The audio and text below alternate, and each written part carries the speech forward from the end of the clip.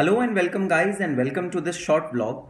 And yes, um, the vice president of the institute um, has released an announcement for all the people who have qualified their examination in uh, December 2019 and um, are qualified now. So guys, uh, yes, the institute understands your mental agony which you are going through for the campus being deferred completely uh, from the month of April. And uh, there is a notification announcement for all of you. And let me read uh, the important paragraph of that notification. It says that we sincerely understand that the agony and mental state of the students aspiring for campus placements this term.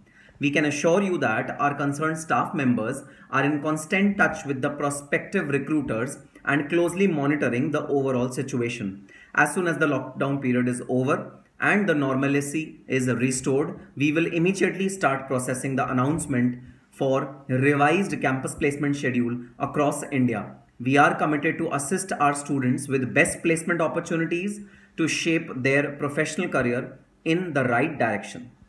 So guys, a very sweet gesture, I would say from the institute side. Um, uh, just be calm, just be patient and everything will fall in place. Yes, it's a tough time for the country, uh, for all of us, for the institute as well. But at this critical time, we need to support our institute as much as we can. And just like we are supporting our country by staying in our homes, we can support our institute by staying calm, by staying relaxed, by staying peace, staying peaceful. On that positive note, all the very best and happy studying.